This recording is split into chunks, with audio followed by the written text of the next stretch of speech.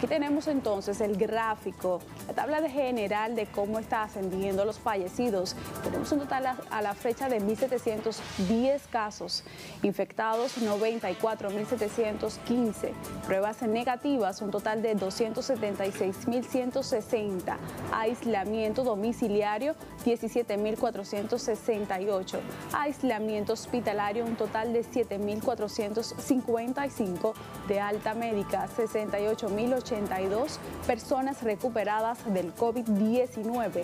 Y a continuación, entonces desglosamos las provincias o demarcaciones, iniciando con el Distrito Nacional con un total de 26.939 casos. En Asua, 1.673 casos.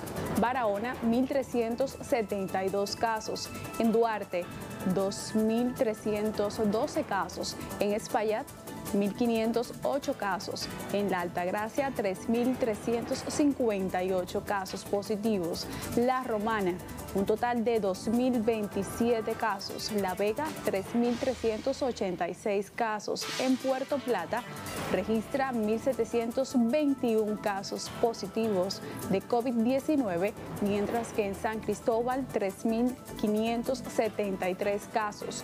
En San Juan, 1.406 casos. En San Pedro de Macorís, 1.371 casos. En Sánchez Ramírez, 1.375 casos.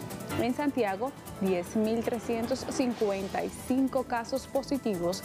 En Monseñor Noel, 1.043 casos y en Santo Domingo a la fecha con un total de 20.209 casos en el boletín 165 del Ministerio de Salud Pública.